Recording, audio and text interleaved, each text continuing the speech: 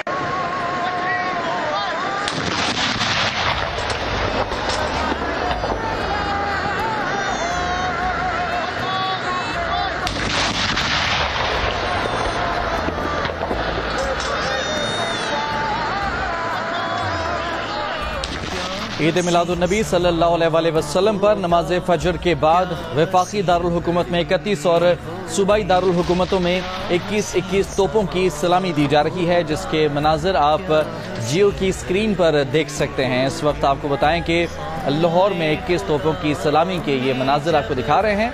मसाजिद और घरों में मुल्की तरक्की और सलामती, खुशहाली और उम्मत मुस्लिमा के इतिहाद के लिए खसूसी दुआएँ मांगी गई हैं।